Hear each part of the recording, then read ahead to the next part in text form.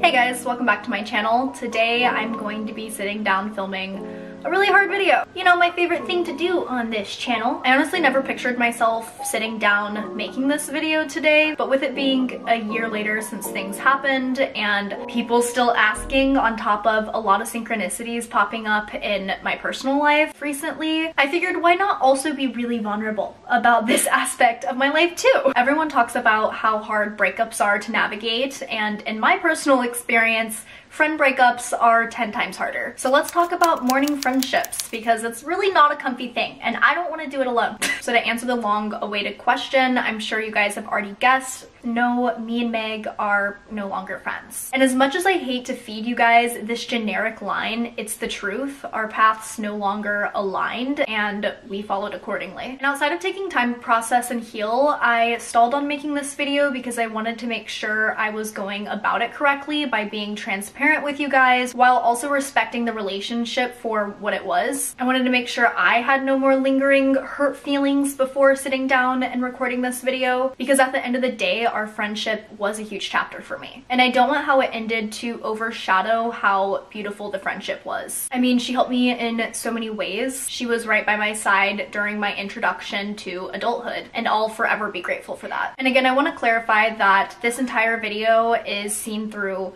my perspective of things. I'm not speaking for anyone. We haven't talked since, so I have no idea her feelings on things. And I think the best way to navigate this video is to be super gay and do a song analysis because it's still hard to talk about and finding the words don't always just come naturally. So today's song will really help lead the conversation. So shout out to NAO. Um, I don't even know if that's how you properly pronounce her name. It's N-A-O. NAO. Either way, I love the bitch. She is a great singer-songwriter. And this song in particular has been resurfacing back in my life. It's been popping up a lot. So I really just felt called to sit down and make this video, whether it's closure for me, closure for you guys, because I know you guys were really invested in the friendship. But yeah, it was a song that was special to the both of us. We found it during our spiritual awakening, and there were just a lot of synchronicities with it. When we were really deep into dream work, we ended up dreaming the same exact verse from the song and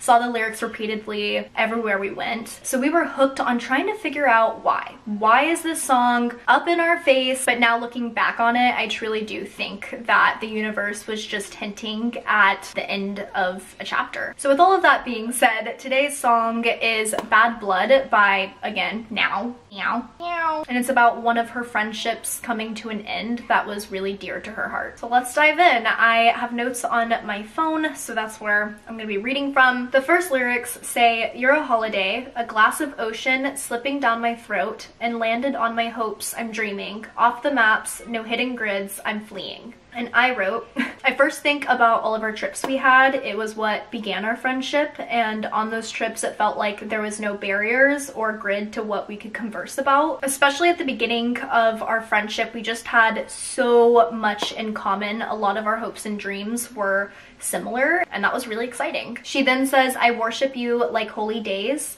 lying on my back, seeing clouds and rays, drinking lime and bitter from my lemonade, White horses, merry time won't do. So this is obviously hinting at very nostalgic moments for her. And I mean, it was no secret that me and Meg were joined at the hip. I very much looked up to Megan, asked for advice, had the highest respect for her. The next line says, do you remember?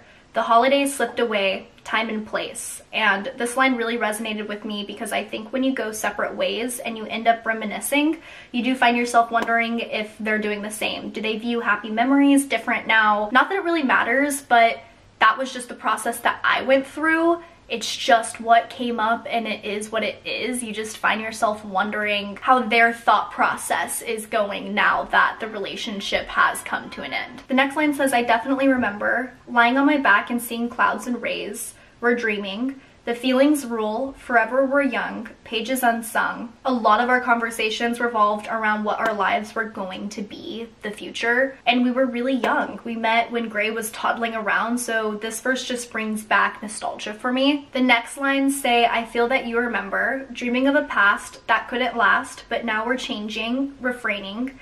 I think it's the know that it's the I think it's the bad blood, bad blood.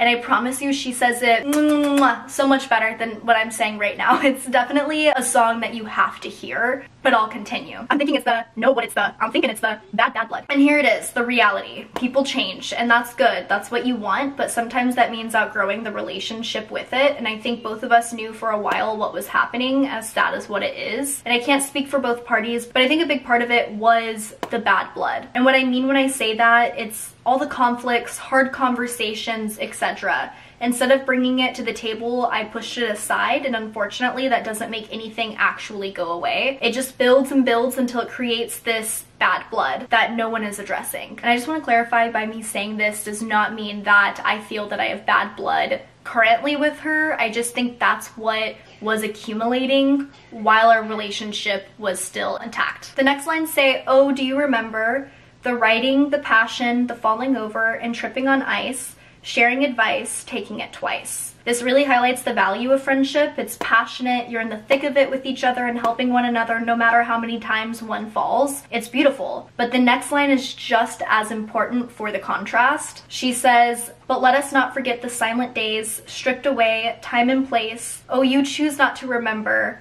fly away, counting days, I'm hiding from you. This showcases the balance of a relationship with the good, there's also the bad. This part in particular stings because it just rings so true to how I dealt with conflict back then. Brushing things under the rug, literally hiding. If I felt any tension in the house, it was almost too overwhelming, so I would just leave and we would basically carry on after that, which is a great recipe for a failed friendship and I take accountability for that. The next lines say, I'm thinking it's the, know that it's the bad blood. You guys get it. We, we already went over that one. But I will say if there's one piece of advice I can give you, if you truly value a relationship, tiptoeing over the hard parts might put a band-aid over the problem for now, but things build. Have the hard conversations. I choose for the rain not to fall, exposing the sun on you. I lose. And again, this just hints at how I used to handle situations. I felt like if I just kept it all inside that there would be no chaos.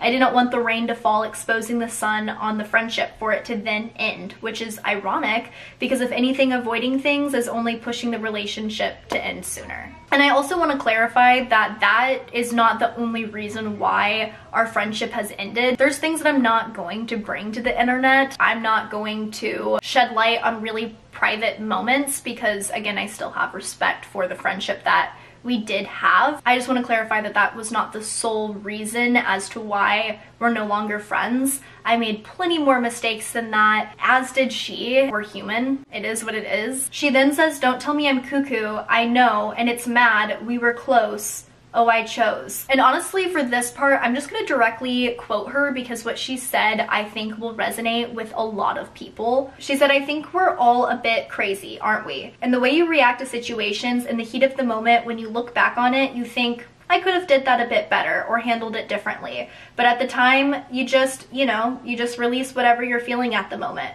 So that's probably why I'm like, don't tell me I'm cuckoo. I know. It's mad we were close. It was also about thinking about how close we were and how she should be by my side right now, here with me on this journey. It's crazy that she's not. 15 years ago, we were the closest, and now 15 years later, we're not.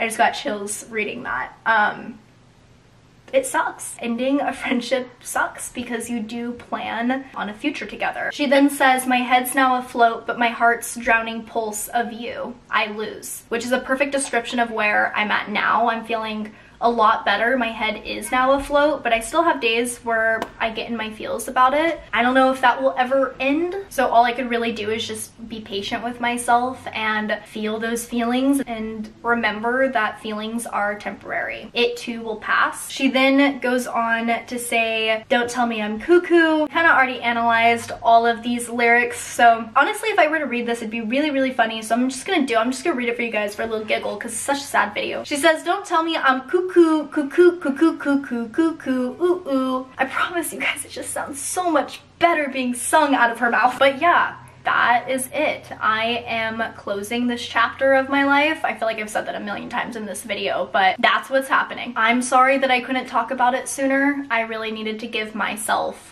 time to heal without any further questions. And with that being said, please, please, please do not go over to Megan's channel and bring this up more. I just feel like we're both trying to move forward from this. I do wish her and her kids the most abundance. I mean that from the bottom of my heart. No matter how we ended things, Megan, if you're watching this, as cringe as what this is, thank you. There's nothing more for me to say but thank you. My life path for sure got directed on the course that it was supposed to be on because of you and I'll just forever be grateful for that. And with all of that being said, that does conclude this video. I hope I answered most of your guys' questions. I don't plan on going any further into this topic and I'm sure you guys will understand why. I love you guys so much. Thank you for being on this crazy ride with me and supporting me throughout. I hope you're able to take something from this video, even if it's just closure. I definitely feel like I've gotten mine. So with that, I love you guys and I'll see you guys next time. Bye.